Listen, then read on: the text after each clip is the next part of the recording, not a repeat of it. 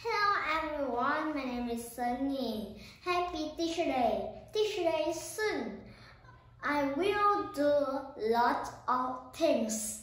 Before this day, mother and I go to market, buy flowers. Then I arrange flowers in the vase.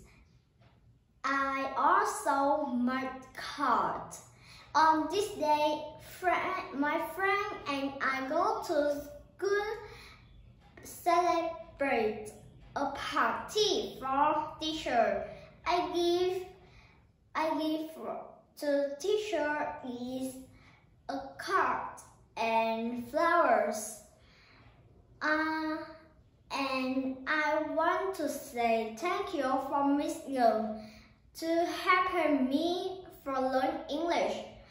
Uh, happy Teacher Day! I wish my teacher happy and successful in a life. Thank you for listening. Goodbye.